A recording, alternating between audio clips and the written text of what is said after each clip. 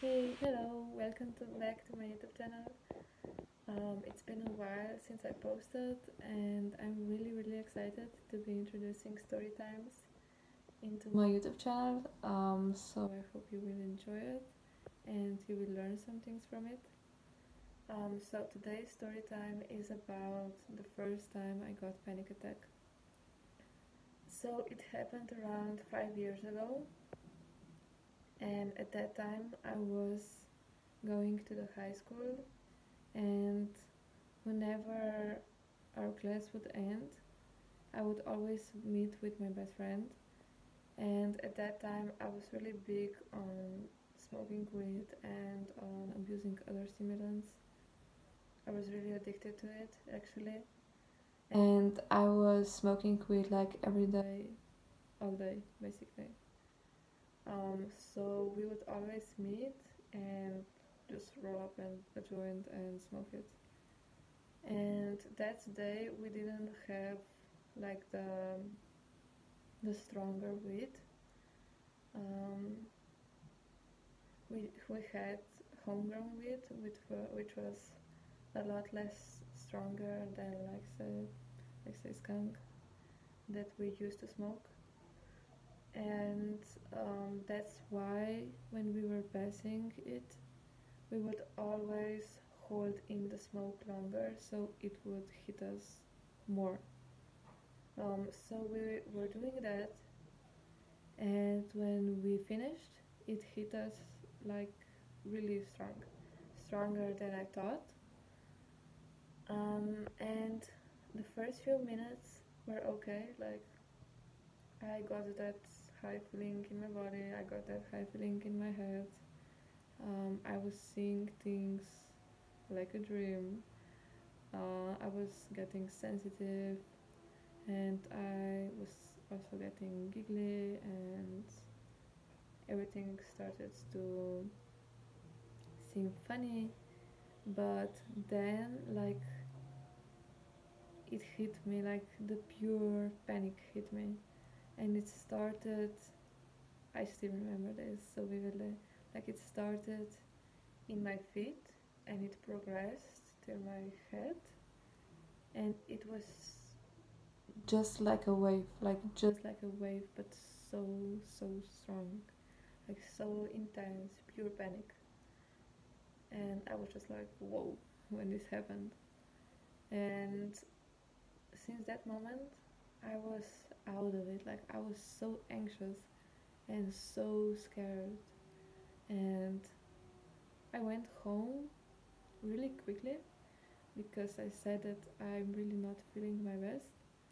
And from that moment I couldn't stop thinking about it. And I couldn't stop being scared that this will happen again. So I was just thinking about it and thinking about it thinking about this moment being stuck in this memory um, till the point where I would get more and more anxious and my heart would start pounding faster and stronger.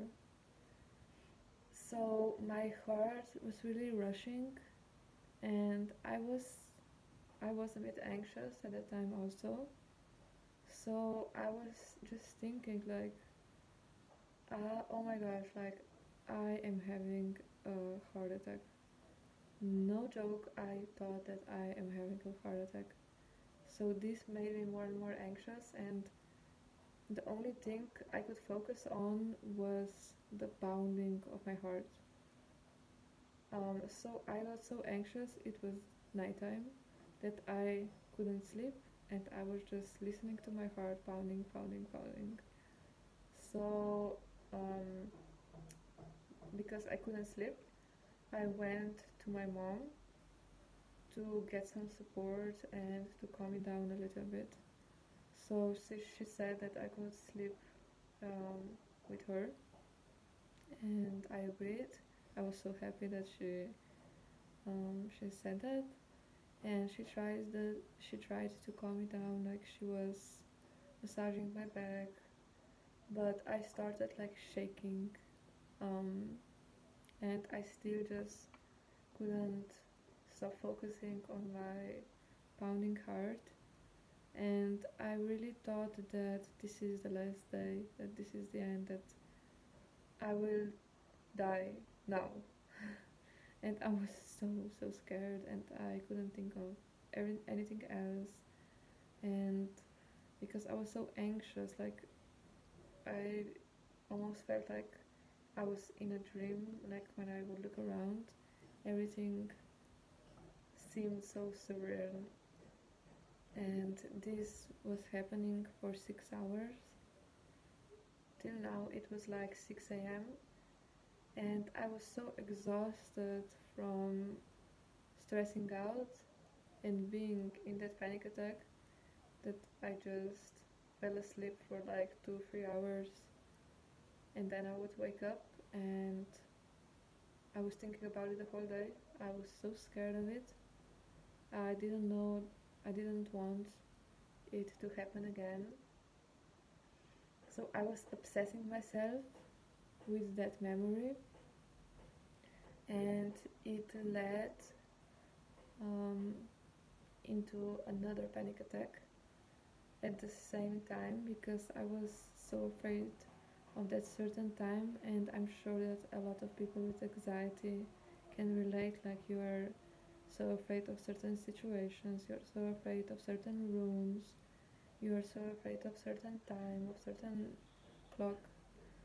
Um, that was the case in in my case in my situation. I was so afraid of the night time and of course because i was obsessing about it so much it happened again. And it was it was just as intense as the first time. And I didn't I still didn't know that this was a panic attack. So I went actually to the emergency room and they checked me up and they then said that it was a panic attack and that they can prescribe me some pills to calm me down and I just agreed like yes I would love to take those pills. Like, I just want this to be to end. Um, I can't live like this. Um, so I took it that night, and it was a bit better, but not much. Um, but the next day, I was thinking about it, and it made me realize that if I will be on those pills, I will be on those pills for some time. And by taking those pills I won't be treating the root cause that caused these panic attacks. And I will be stuck in cycles of panic attacks forever. And I don't want that. So I didn't took any pills anymore after that first time and I really wanted to heal this by myself. Um, yeah and the whole time i was like my biggest cheerleader. And it was it was really hard to to force myself to not think about it to not obsess about it. So the panic attacks were slowly decreasing they were not as strong as they used to be and they would fade away. But actually my anxiety stayed and it also progressed so I was still so anxious and I developed also social anxiety. But from that day like I didn't smoke weed anymore and I didn't take other stimulants and I also didn't drink alcohol because when you drink, when you smoke, you get kind of dizzy and you get that surreal feeling um, when you're looking around. So this would just remind me so much of the panic attacks that I just couldn't bear it. Um, and I just quit everything from that day on. And like the panic attacks did fade away, but the other issues then developed uh, with mental health. Um, and the only thing that really helped me was healing my gut because I just I didn't know like I thought that mental health and gut health were so separated and that they don't have any connection uh, but it's just it's just not the case. Like when you heal your gut health um, your mental health will transform big time. And yeah when i really started to heal my gut everything changed for me. Like the panic attacks went um oh sorry the panic the panic itself like the panicky feeling went away away completely and the anxiety went away the depression went away and everything. So that's why i'm so passionate about it because if you're having this now or if you ever had it like i know how you feel and it's terrible like every time i had it i thought i will die. Um, and i was obsessing with this fear of dying and that's why i was always running in a loop so if you have an experience with it and if you want to share your first experience with having a panic attack i invite you to do that in the comments down below I'm really curious to hear your stories. Um, and if you are struggling with it right now, I know how it feels like, I know how stuck you feel, you may feel, and how afraid and how weak you feel, how not in control of your life, you feel. But if you just stop obsessing about it and when you really start to take better care of your gut health, I'm sure that this will help you and transform your life a lot like a lot a lot. And I just want to let you know that there is